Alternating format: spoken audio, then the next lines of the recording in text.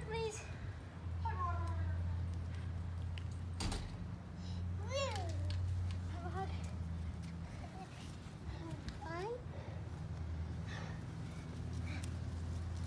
You don't know how far I ran. How far? Piper came out. I was like one step behind her.